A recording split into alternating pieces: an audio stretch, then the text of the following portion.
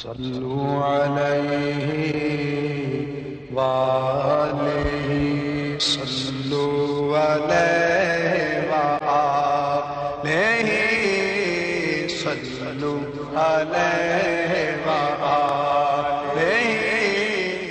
कब्रिस्तान में जाकर इस तरह इसाल सवाब करूँगा, ये नियत कीजिए।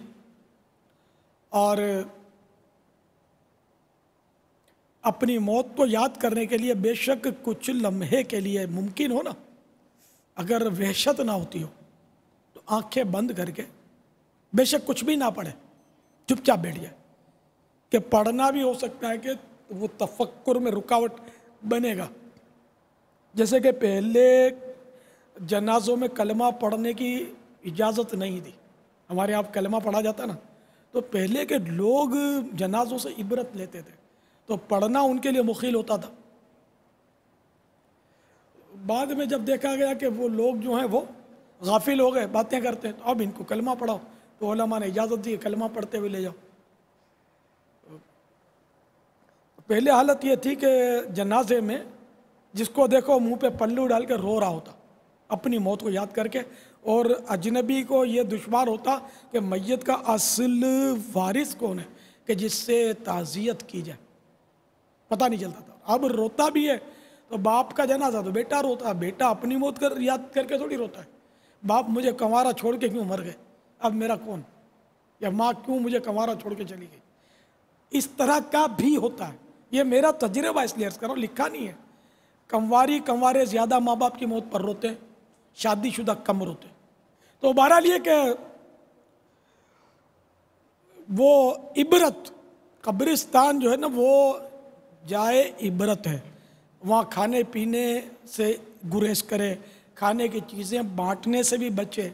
अच्छा ये चंद नीयतें कर ले और मस्जिद के यासिन शरीफ जा जाके पढ़ूँगा। सूर फातिहा ग्यारह बार कुल्ला शरीफ पढ़ूँगा, इस साल करूँगा, सबको इस साल सवाब करूँगा। वगैरह वगैरह। मोमबत्तियाँ नहीं जलाना। कब्र पर मोमबत्ती आजकल जलाने की रस्म ये गलत है। अगर मोमबत्ती जलानी है तो हाजत है तो जला सकते हैं, वरना इसराफ, हाजत। यहाँ अंधेरा है लाइट नहीं है, इसलिए जला दी कि इसमें बैठकर यासिन शरीफ देखकर पढ़ेगा, तिलावत करेगा। या वहशत हो रही है, घबराहट हो रही है, इतना अंधेरा है तो इसके लिए जला दी। या इसलिए जला दी कि कब्र ऐसी जगह पर है कि अगर ये मोमबत्ती नहीं जलाऊँगा तो कोई इस पर पाँव रख देगा तो जला सकते हैं। मगर कब्र से हटकर जलाएँगे, कब्र पर नहीं। न इस कब्र पर जिस पर यह गया है, न किसी और मुसलमान की कब्र पर। साइड पे जलाएँगे। या ये कि और अज़ीज़ हमारे आएँगे तो उनको जला दूँ ताकि वो कब्र ढूँढने में इनको आसानी होगी। न कोई नीयत हसन, यानी अच्छी नीयत हो तो मोमबत्ती की इजाज़त, वरना इजाज़त नहीं। तो इस तरह कब्रिस्तान में जाकर अच्छी अच्छी नीयतों के साथ हाजिरी दे, रोए कुछ यानी कि मैंने अर्ज़ किया कि तवक़ुफ़ करे, यानी कि चंद मिनट हो सके तो आँखें बंद करके वहाँ मुराकबा करें। जबकि वहशत ना होती हो, कुछ का कुछ ना हो जाए। घबरा जाए। वो नफसियाती तौर पर वो नहीं। वरना यह कि अगर ऐसा नहीं है शब बारात में हमारे कब्रिस्तानों में खासकर बाबुल मदीना का जो मेवा शाह कब्रिस्तान, मैं बारहा गया हूँ शब बारात में, वहाँ सारी रात ठीक ठाक वो पब्लिक की चहल पहल होती तो उसमें वहशत का अंदेशा कम है। हम अंदर कोई चला जाए और वहाँ आमद रफ्त ना हो तो वो मैं नहीं कह सकता। तो बहरहाल ये कि कुछ बैठ कर इस मैयत के हालात पर गौर करें कि ये भी किस तरह मेरी तरह चलता था, फिरता था, हंसता था, बोलता था, मज़ाक मस्करी भी कर लेता था, उम्दा खाने भी खाता था, बाल संवार के रखता था प्रेस करके इस्त्री करके, कपड़े पहनता था, बगैर इस्त्री के नहीं पहनता था।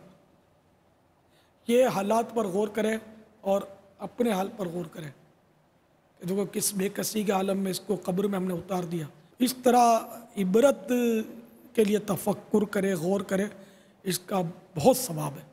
और अपनी आखिरत के लिए ये बेहतरीन बेहतरीन बेहतरीन ज़रिया है आखिरत की याद के लिए। सल्लु अलैहि वाले सल्लु